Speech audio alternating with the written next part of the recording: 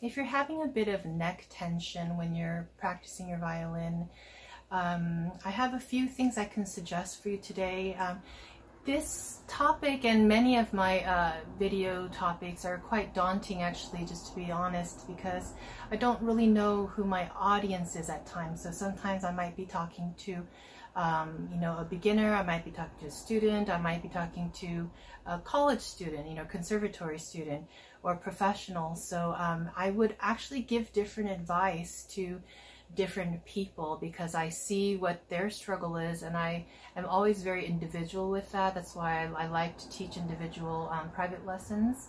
So um, what I tell you today may not be the right advice for you, um, but it might be the right advice for somebody else. So, um, you know, you can try it out and if it's not really really working for you, then um, hopefully I'll be uploading more videos on this topic and you can try one of the other suggestions that I have for you. So main my main concern is your health and I don't want you to injure yourself. I want you to feel better.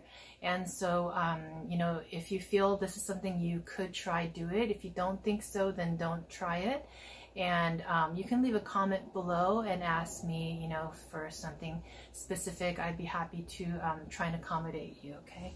So for this one, this this may not work for um, like even a late beginner and early intermediate. This might work more for somebody who's been playing quite a while because um, what I want to challenge you to do is, you know, for neck tension, it could be a lot of things. It could be your shoulder, it could be your back, your upper back muscles, it could be your neck. Um, so first thing I would say is just try to move your neck around, you know, just like really gently go like, you know, maybe ear, ear to um, shoulder without bringing your shoulders up. You know, just very, very gently, you know, and just, just hold it there. You can look left, you can look right. Just hold it for, you know, a little while.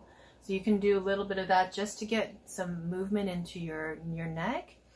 And um, so when we're having um, like neck misalignment, like, you know, people who kind of sit with their chin forward or, um, or people who study and their head is always tilted down towards a, a, desk or if your your computer monitor is like on the side or something or um, something that you you know you keep using uh, uh, your muscle in like one way it's always good to um, you know try to incorporate movement where you're going the other way so, um, so neck is pretty tricky and it's very delicate. So I want to be careful with that.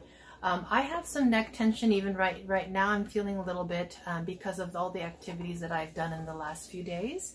So then what I do is I just find ways to release it. And, you know, because I've dealt with it for a while, I know what to do for myself. Um, so even now, what I would do is when I'm practicing, I would actually, uh, first of all, you need to be able to hold your violin um, like um, in a balanced way. So you see how my head's off the instrument, but my violin's not falling down. So it's a teamwork um, between, you know, getting the violin balanced on your, your collarbone here. And, um, and then it's also the hand uh, supporting the neck area, okay? And so, you know, I do need to talk about shoulder rests and, and chin rests and sponges and pads and everything. But um, you gotta, you have to find the right uh, setup that works for you. So that could be another thing. So you see how this topic just can really open up, um, you know, another another thing and another issue. So, um, and it really, I have to see you personally to know what I would recommend for you. So um, anyways, once you find this balance, I would suggest that you just play without your head on the instrument. So, if you want, you can play your favorite tune. See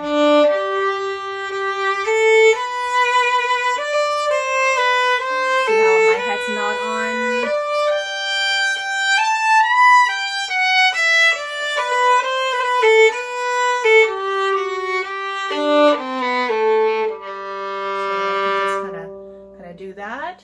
And um, then what you can do is if that's difficult for you, I don't want you to feel more tension because you don't feel comfortable with that. So I would say then try to put your head um, in a new way. So like it might look like you're decapitated, but just, you know, try to put your head maybe this way and just relax it and then play.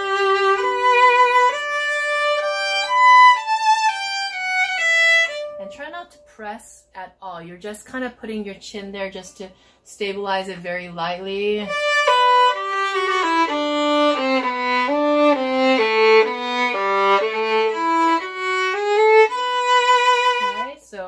Then you can also try going the other way, so maybe turn quite a bit this way. Again, don't apply any any pressure, just you're just kind of barely touching it here.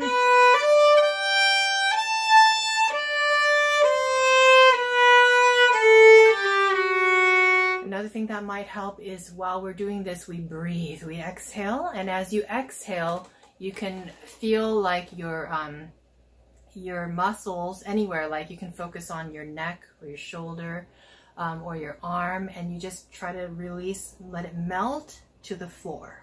All right, so making sure that you're not, you know, harnessing any tension and kind of holding everything like elevated. So we might kind of play like like this.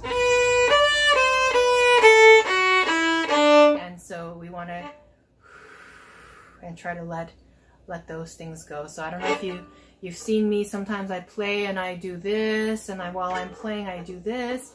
And so I'm just trying to incorporate a little bit of motion to check that I haven't locked something up that I didn't realize. So that's why I'm doing that. And if you watch um, famous violinists perform, even Oistrakh, um, even, you know, back then or even now, um, you can look at Vengerov, Hilary Hahn, uh, um, uh, Janine Jansen, a lot a lot of players they're they're moving um, around quite a bit. They're adjusting because we don't want to be holding one position clamping down. So that's that might be what you're doing.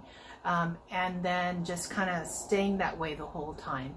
There's no way that's healthy for your muscles your ligaments your tendons there's no way so you want to just incorporate movement so I would highly recommend if you can't you know do this with your head you know moving then maybe you should check your setup, meaning your, your equipment, your accessories, and um, also how you're holding your instruments. So I do have other videos that talk about posture um, on the left side, how to place the violin and whatnot. So um, I'll link those above and um, so you can go take a look at that as well.